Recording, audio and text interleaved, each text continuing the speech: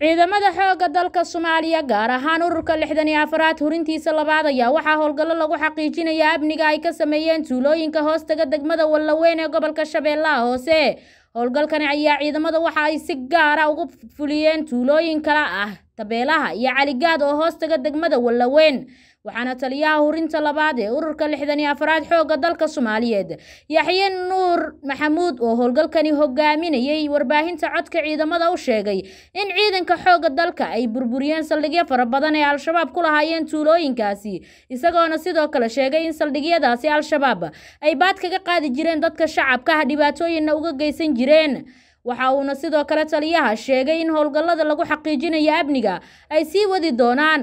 Gobolka shabeellaha hoose ayaa waxa uu ka mid yahay gobollada soomaaliya ee al-shabaab ay ku dambeeyaan iyagoona mararka qaar halkaasi ka geysta weeraro toosa iyo qaraxyo ay la beegsanayaan ciidamada dowladda soomaaliya iyo maamulka gobolka shabeellaha hoose.